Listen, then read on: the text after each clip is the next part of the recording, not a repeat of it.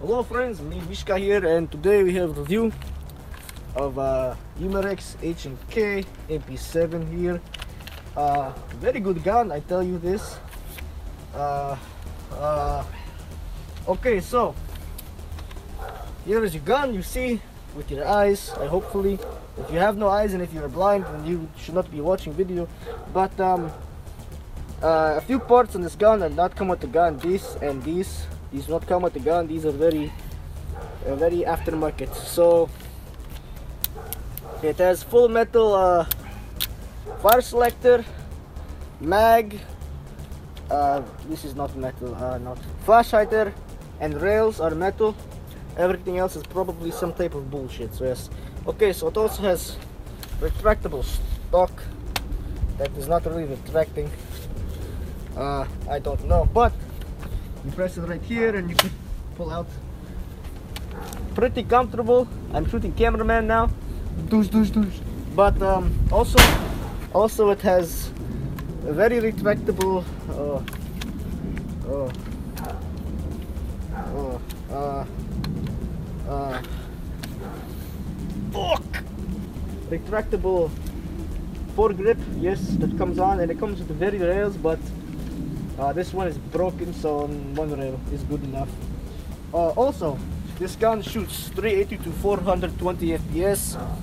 I think um, with .25 grain uh, BBs, I'd say you have around uh, higher threes, not only fours that much. First few shots it does take, uh, but uh, I lost my train of the thoughts. Oh, okay, yes. So also this gun is um gas blowback but I do not think I have any gas so uh, you have to pull out charging handle and yes no gas in the gun unfortunately but uh, it is gas blowback I think so. Yes blowback from ejection port here. Um, this gun does come with a power up suppressor or maybe it doesn't.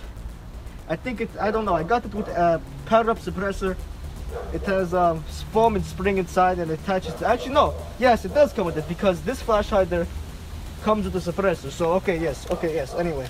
Also on the gun, you can see here at H&K trademarks, here, here, H&K, H&K. And on the other side of the gun it has more, more H&K here. Uh, gun comes with uh, two magazines uh, this is custom spray paint you have to worry about this that is that. The gun costs about a uh, little over 200 dollars. Uh, I do recommend very accurate very nice very compact. You go through CQB you know you have no problem uh, hitting another person or hitting another person hitting other walls. And uh, magazines stay in pretty well. Uh, only problems I had with this gun sometimes uh, if you don't put the gas in right it doesn't shoot correctly but that's my problem. But it doesn't really matter because the gun is nice in general. Right here we have uh, Vulcan outdoor uh, aim sight and we have some bullshit back sights. Don't know don't know why I have that. Anyway uh, I think that's pretty much it with this gun. Unless I'm forgetting something. You know you have your rails. Not your rails your sling points here and here. And uh, uh, if you do play CQB, I recommend 0.25 BBs and you don't go chrono testing because they might still say no. So I recommend you just take your gun and you, you walk away like this.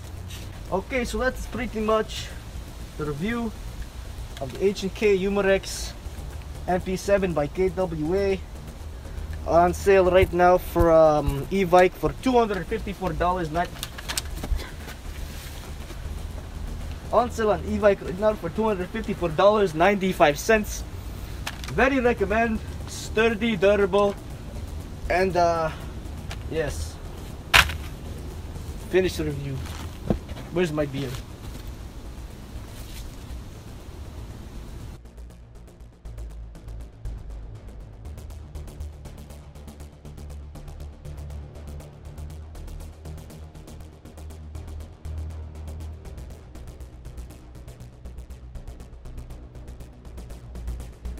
This is the Elite Force Full Metal 1911 A1 by Umarex.